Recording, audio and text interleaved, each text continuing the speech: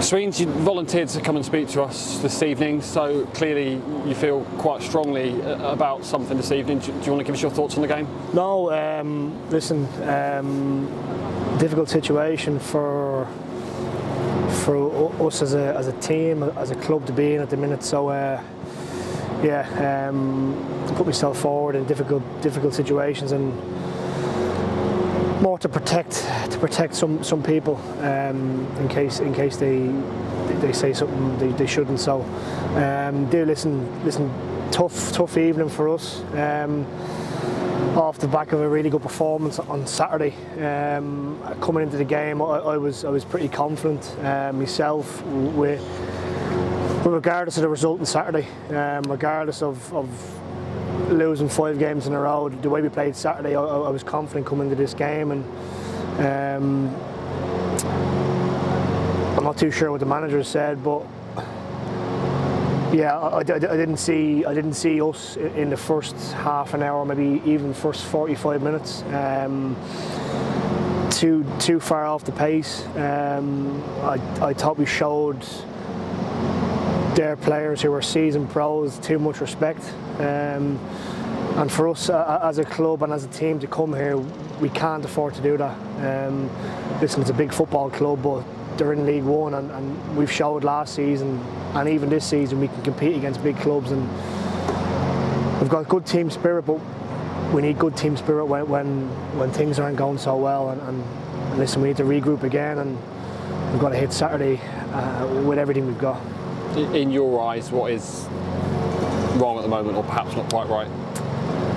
Um, I think too many soft goals, and that's not just the defenders. The manager, the manager take, tells everybody when, when we concede, it's everybody's fault, and when we score, it's everybody's reason to score. Um, individually, we haven't been good enough. As a team, we haven't been good enough. Um, the managers come in and and set really high standards and and I'm with him on that. Um, he first and foremost he wants my standards high, so and he wants that to filter in, in through the team. Um, and listen, we, we haven't we, we haven't had an awful lot of luck recently with with balls in the box falling to us, and and when that happens, you, you lose a bit of confidence in yourself, in your own game, and and as a team. So, um, yeah, it's it's a tough tough situation to be in. Not one of not one I've been in in my career so far. Um, and I'm not too sure many players in our change will be in that situation either. Um, we've got to stick together. Um, we've got to believe in what we're doing, and I think we do believe in what we're doing. We're just we're just not we're just not clicking as we did in the first six or seven games, and lot of football to be played um, still, uh, but we've got to give everything we have on Saturday. Um, Lincoln are coming to our place on Saturday, and we've got to make it difficult, and we've got to put a similar performance that we did on Saturday, but keep the keep the ball over net, and that, that's first and foremost. Yeah, I guess you know this is this is your club in a way. It's your Mr Exeter City. This this stings. Yeah, it's it's it's it's really tough to take. Um, listen, I was part of the group that got the got the team promoted. Um, I've been lucky enough that the manager here, the new manager, or, or, or Gary, really likes me. Um, sometimes when when a new manager comes in, he, he wants to get rid of so-called players who've been here dead wood or whatever. Um, he's been loyal to me. He's given me a new contract, a new opportunity, um, more more responsibilities on my shoulders now, which I'm, I'm, I'm getting used to and, and I'm really enjoying. Um, but listen, we're not we're not helping a manager who.